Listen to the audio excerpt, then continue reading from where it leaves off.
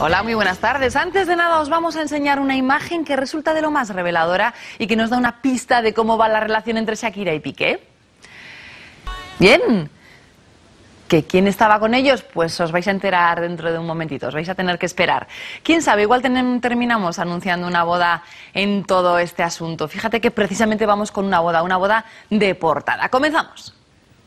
Y lo que tampoco tiene desperdicio es la noticia que em, os vamos a mostrar ahora. Os hablamos de amor, bueno, de un nuevo amor. Hace ya tiempo que Isabel Gemio rompió con su ex, más de cinco años, y hoy la periodista tiene una nueva ilusión.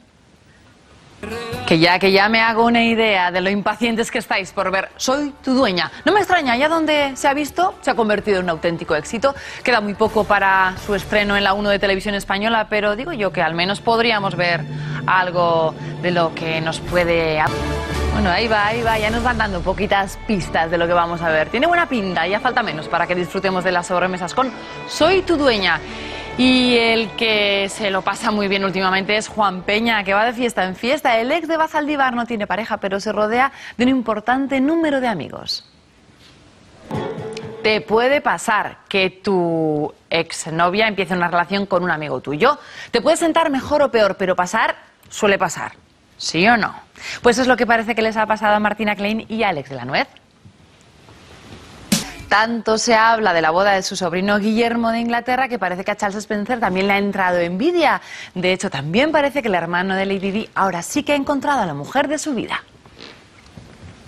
Es la imagen con la que hemos comenzado nuestro corazón de hoy, la de una reunión muy especial. Atención. Y en esa nueva vida alguien tiene un papel fundamental. Y de ahí que esta reunión familiar tenga tanta importancia. Luego os contamos quién no se perdió este encuentro, pero para encuentros el que tuvo lugar ayer aquí en Televisión Española fue lo más visto del día, mientras Raúl dejaba helados a todos los valencianistas con esto. Y bien, y no podemos dejar de hablar de alguien que hoy está muy feliz. Subirse de nuevo a su bicicleta y volver a competir era lo más importante para Alberto Contador, que ya se ha puesto a pedalear con más fuerza que nunca.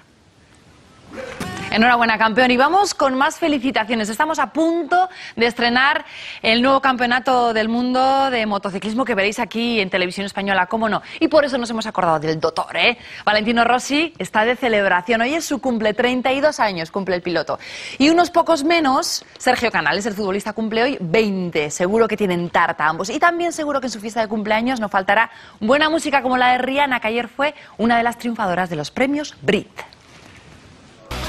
Justo ahora que se acaban de estrenar como padres, algunos hablan de un posible distanciamiento entre Paulina Rubio y su marido Colate Vallejo Nájera. En ningún momento es adecuado para una noticia así, pero menos ahora que la cantante está intentando superar la desaparición, el fallecimiento de su padre.